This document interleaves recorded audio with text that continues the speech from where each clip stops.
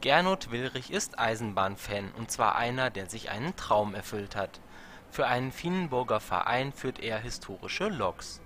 Heute sitzt er im Führerraum einer Diesellok V 100 (Baujahr 1961), die Reisende einer Nostalgiefahrt nach Eisenach befördert. In Bebra steigen wir zu. Wir passieren den 1848 gebauten Höhne-Bach-Tunnel.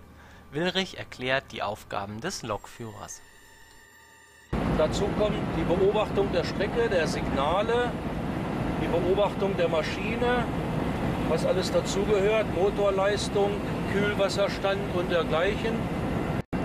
Dazu gehört es, die Geschwindigkeit einzuhalten. Wir haben also hier eine fahrplanmäßige Geschwindigkeit von 100 km/h, die auch nicht unterschritten werden sollte, weil der Fahrplan darauf abgestimmt ist, dass die Züge auch die eingehaltene Geschwindigkeit fahren. Nach nur 35 Minuten erreichen wir Eisenach, wo auf die Mitreisenden ein buntes Volksfest wartet, der Sommergewinn